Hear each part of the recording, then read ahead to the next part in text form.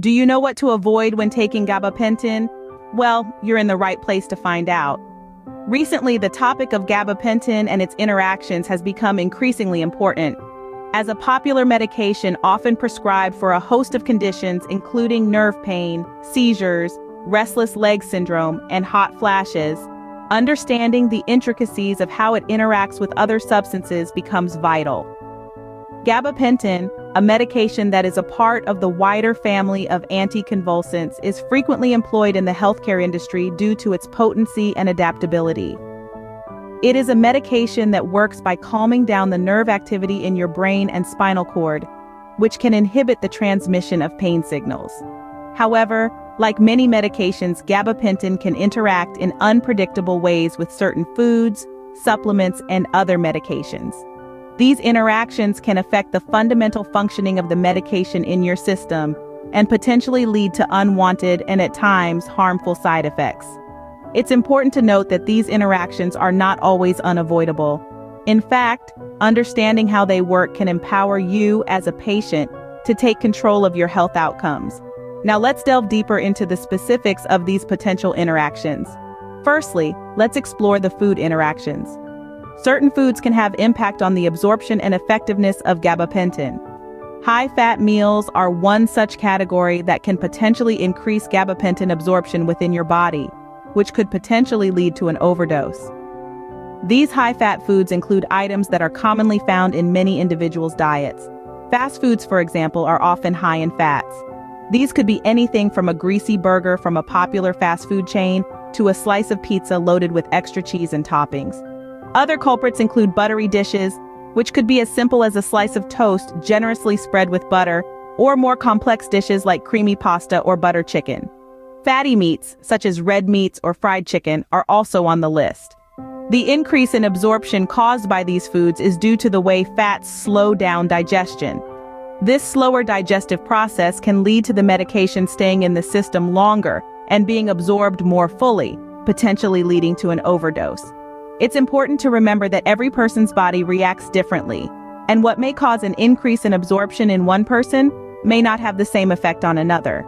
In addition to food, alcohol can also interact with gabapentin in ways that can increase its sedative effects. This is due to the fact that both substances are central nervous system depressants. When taken together, they can create a compounded effect, leading to increased drowsiness, dizziness, and potentially dangerous levels of sedation. In some cases, this can even lead to unconsciousness or be life-threatening. Avoiding alcohol when taking gabapentin is a wise choice. This doesn't mean you have to completely abstain from all forms of alcohol, but it's a good idea to limit your consumption significantly. This includes not just beverages like beer, wine, or spirits, but also foods that may contain alcohol. Be conscious of items like certain desserts or sauces which may have alcohol as an ingredient. It's always a good idea to speak your healthcare provider if you have any questions about specific food or drink items. In conclusion, taking gabapentin requires a certain level of vigilance.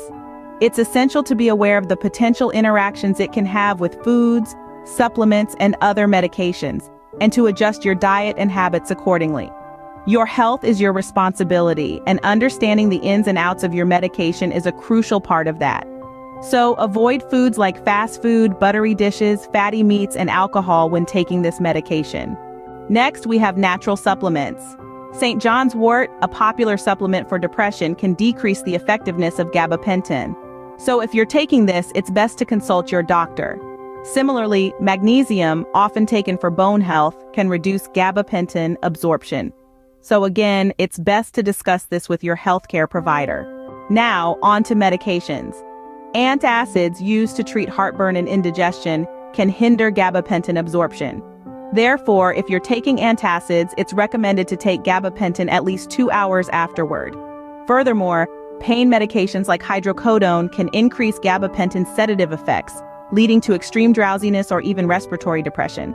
So if you're on pain medications, be sure to discuss this with your doctor. In summary, when taking gabapentin, it's best to avoid high-fat meals, alcohol, St. John's wort, magnesium, antacids, and pain medications like hydrocodone. Of course, this isn't an exhaustive list and individual reactions can vary. As always, it's crucial to consult with your healthcare provider about your specific situation. Remember, it's your health, and you have a right to know how to best manage it. Thanks for tuning in. Stay informed, stay safe, and take care.